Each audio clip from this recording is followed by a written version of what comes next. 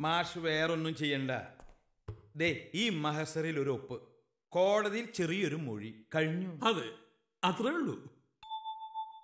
എന്താ ഇതിൽ എഴുതിയിരിക്കുന്നത് മാഷ് ഊണ് കഴിഞ്ഞ് ഒരു സിഗരറ്റ് വലിച്ച് ബാൽക്കണിയിൽ നിൽക്കുക. അപ്പോ വിജനമായ റോഡിലൂടെ സ്കൂട്ടർ ഓടിച്ച് രണ്ടുപേര് വരുന്നു. അതിലൊരാൾ സ്കൂട്ടറിൽ നിന്ന് ഇറങ്ങി കടയിൽ കയറി പണപ്പെട്ടി തുറന്നു. പണവും സ്വർണാഭരണങ്ങളും വാരി സഞ്ചിയിലാക്കി സ്കൂട്ടർ കയറിയൊക്കെ പോയി. അതെ. അത്രേ ഉള്ളൂ. അതിന് ഞാനൊന്നും കണ്ടിട്ടില്ലല്ലോ. ആ കാണാതെ വിശ്വസിക്കുന്നവൻ ഭാഗ്യവാൻ എന്ന് ബൈബിളിൽ പറഞ്ഞിട്ടുണ്ടല്ലോ. ഇതേ അർത്ഥം വരുന്ന ഒരു ശ്ലോകം ഭഗവത്ഗീതയിലും ഉണ്ട് അത് ഞാൻ കേട്ടിട്ടില്ല. ആ, മാഷേ പ്രതികളെ ഞങ്ങൾ പിടിച്ചു കഴിഞ്ഞു. പക്ഷെ അവന്മാരെ ശിക്ഷിക്കണമെങ്കിൽ ദൃക്സാക്ഷികളും തെളിവുകളും വേണം. മാഷു വെറും മാപ്പ ഊപ്പ അല്ലാത്തത് കൊണ്ടും. നോക്കിയാൽ കാണുന്ന സ്ഥലത്ത് താമസിക്കുന്ന ആളായത് കൊണ്ടായി പറയണേ. ആ, എന്നാലും കാണാത്ത കാര്യം കണ്ടു എന്ന് പറയുന്നത് എങ്ങനെയാ? ഇയാൾ ആരാ ഹരിച്ചന്ദ്രന്റെ അമ്മായിയപ്പന. അന്വേഷിച്ചാ അറിയാം. ഇടഞ്ഞ ഇടിക്കുളത്തിരി പെശക.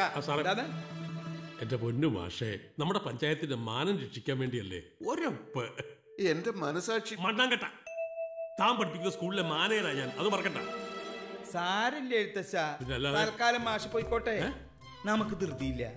നല്ലതുപോലെ ആലോചിച്ച് ഒന്ന് രണ്ട് ദിവസത്തിനകം വന്നാ മതി. എന്റെ മുകളിലത്ത് പട്ടിണിടഞ്ഞേ ഓ പക്ഷേ ഒരു കാര്യം അനുകൂല തീരുമാനമെടുത്തിട്ടേ ഇങ്ങോട്ട് വരാവൂ.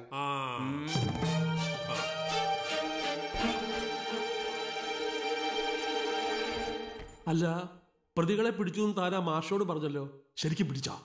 എവിടെ നിന്നിട്ട് പിടിക്കാൻ ഞാൻ ചുമ്മാ തട്ടിയതല്ലേ.